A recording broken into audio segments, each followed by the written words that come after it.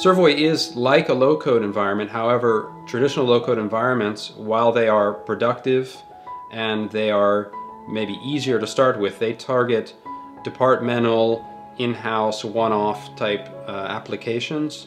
Uh, and they're not really meant to um, integrate with lots of other technology and to uh, have a high concurrency, maybe many hundreds or thousands of users.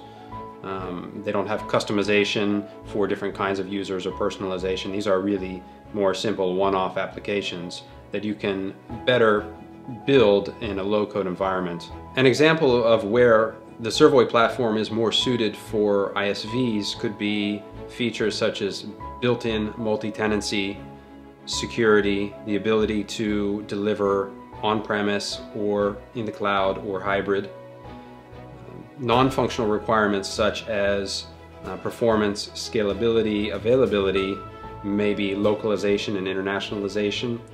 Uh, these come up as common requirements for many applications that ISVs are trying to deliver. When we talk about complex, intricate ERP-alike systems, we typically see companies that build big applications, big in terms of forms, many, many forms, complex calculations, complex UX patterns. And with Servoy, we really go for those applications and help those customers achieve those complex goals. One of the challenges with the traditional RAD environments is that while you can build applications quickly, productively, there's often limitations to what you can deliver in terms of user experience. In Servoy, we believe there shouldn't be a limitation in user experience. So while at the same time you build applications with great productivity, you can deliver the type of user experiences to fit complex or sophisticated line of business operations. So some examples of this could be managing insolvencies and contracts and how they flow from one user to the other and various required steps that, that have to be followed to even train schedules of uh, Deutsche Bahn, the German rail system.